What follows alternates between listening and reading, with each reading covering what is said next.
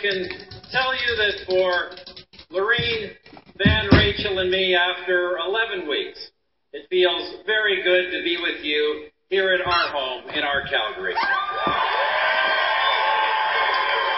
And a special welcome to all of those who are here tonight from the great riding of Calgary Heritage.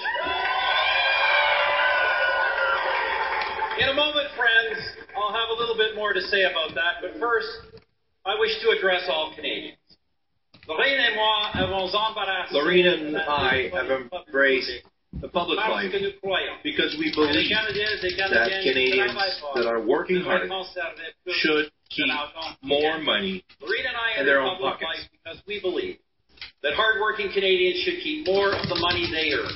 Because we believe because we believe that government should manage the people's money the way people manage their own. Because because friends, we believe that in a dangerous world, Canada must without apology advance our values, defend our interests, and stand by our friends.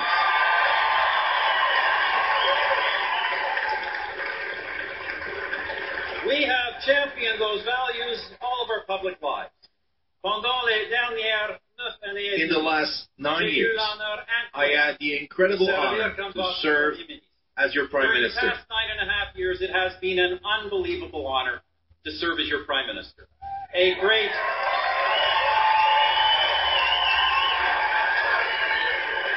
And it has been a great experience to again meet Canadians from coast to coast to coast during the last two and a half months of this campaign.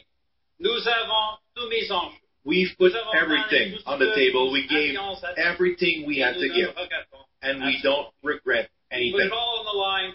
We gave everything we have to give, and we have no regrets whatsoever. Friends, how could we? We remain citizens of the best country on earth.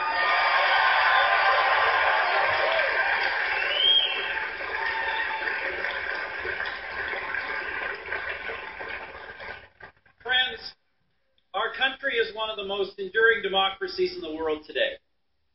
And today, for the 42nd time in 148 years, Canadians have chosen a national parliament. Well, tonight's result is certainly not the one we had hoped for. The people are never wrong.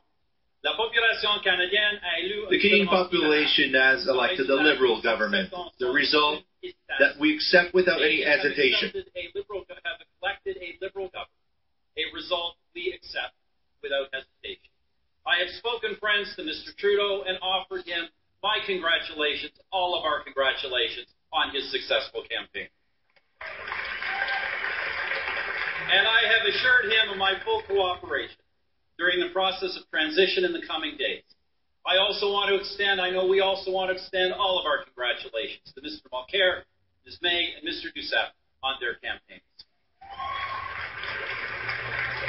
To all Canadians of every stripe, in every corner of our country, victorious or not, I salute. Your efforts help keep our democracy strong. To the constituents of Calgary Heritage, thank you. Thank you for renewing your support for me once again. This is the seventh mandate you have given me, and it remains a true privilege to serve the people of this vibrant city in the Parliament of Canada.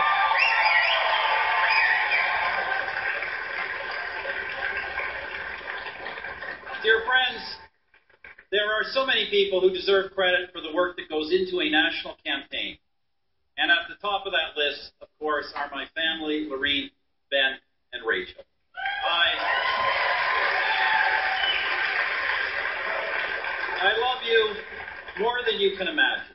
And I have depended on you a great deal, not just in these past 79 days, but for a long time before that. I hope you will always know that without you, none of this would be possible, but with you, everything is. Thank you.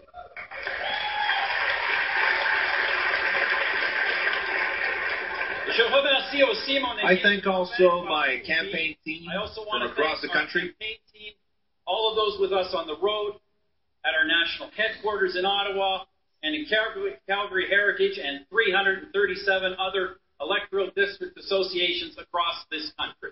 Our party, friends, is a grassroots organization, and it is only because of our devoted staff and the thousands upon thousands of loyal members and volunteers that our party has been able to spread its message. Soir, And tonight, on a fait élire we've elected an official opposition that is strong And at the tonight, Canadian friends, we Parliament. have been able to elect a strong official opposition to the Parliament of Canada.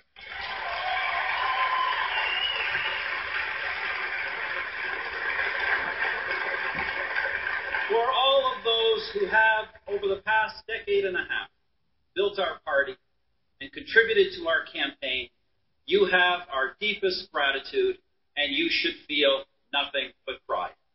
Know also this as well. The disappointment you also feel is my responsibility and mine alone. But know this for certain. When the next time comes, this party will offer Canadians a strong and clear alternative based on our conservative values.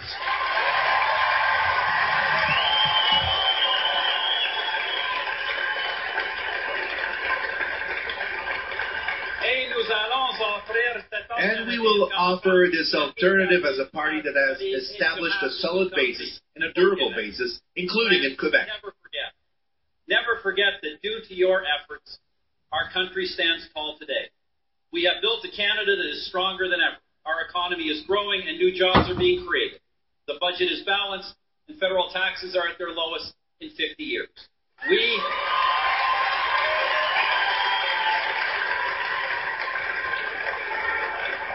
We are poised to seize the opportunities that come with free trade access to Europe, to the Americas, and now to the Asia Pacific. Our men and women in uniform have the tools to do their jobs and the steadfast support of their fellow citizens.